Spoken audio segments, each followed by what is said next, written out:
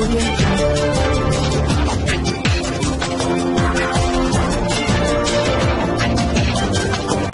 भारत केवल खबरें और कुछ नमस्कार मैं हूँ अंजलि। आरपी भारत में आपका स्वागत करती हूँ। तो चलिए शुरुआत करते हैं आज की किसी खास खबर से। चिरकुंडा थाना अंतर्गत नेहरू रोड स्थित रॉयल हार्ड कोक भट्टा में काम करने के दौरान एक मजदूर की मौत हो गई। घटना की सूचना मिलते ही चिरकुंडा थाना प्रभारी प्रभात कुमार सिंह पुलिस बल के साथ मौके पर पहुंचकर शव को कब्जे में लेकर पोस्टमार्टम के लिए धनबाद भेजने की प्रक्रिया शुरू कर दी।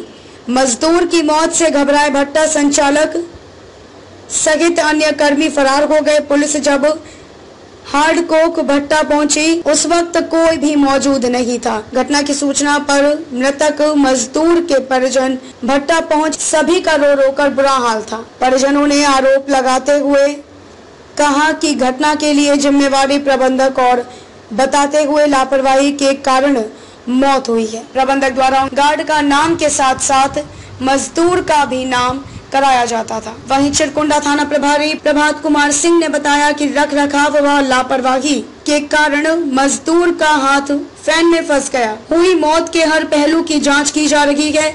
अगर प्रबंधक की लापरवाही दिखी तो निश्चित तौर पर कार्रवाई की जाएगी। निरसा से अनुजीत सेन की रिपोर्ट। कौन थे ये आपके? मेरे ससुर जी थे। कितने बेटे हैं इनके? इनके एक बेटे हैं। कैसे इनका मौत हुआ? यहाँ फैक्ट्री में काम करते थे। पहले ये गार्ड का काम करते थे। गार्ड का काम करते करते इनको ज़बरदस्ती हेल्परी में दे दिए।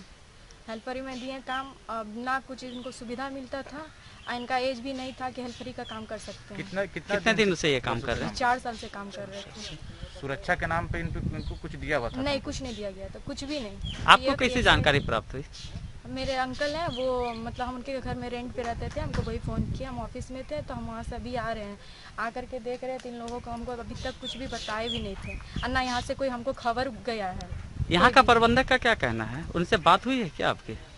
बस उनसे हम यही उम्मीद करते हैं कि मेरा सपोर्ट करें और कुछ क्या हम बोलें। उनसे प्रबंधक का क्या कहना है? यहाँ के जो मालिक है प्रबंधक है उनका क्या कहना है? वो अभी तक तो आए ही नहीं है। अभी तक आए नहीं वो अभी तक आए नहीं है उनका कोई खोज खबर नहीं है।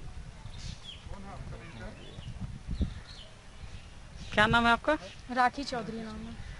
सर क्या मामला है कैसे ये घटना? अभी सूचना मिली कि यहाँ रॉयल हट के अ, अ, किसी की मृत्यु हुई है एक्सीडेंट में कि का जाँच पड़ताल किए हैं तो एक व्यक्ति है जो यहाँ का वर्कर है तो उस, उसके रख रखाव और लापरवाही के कारण उसकी फ़ैन में हाथ फंस जाने के कारण उसकी मृत्यु प्रतीत हो रही है। और अभी उसके घर वालों से संपर्क कर आगे कार्रवाई की जा रही है।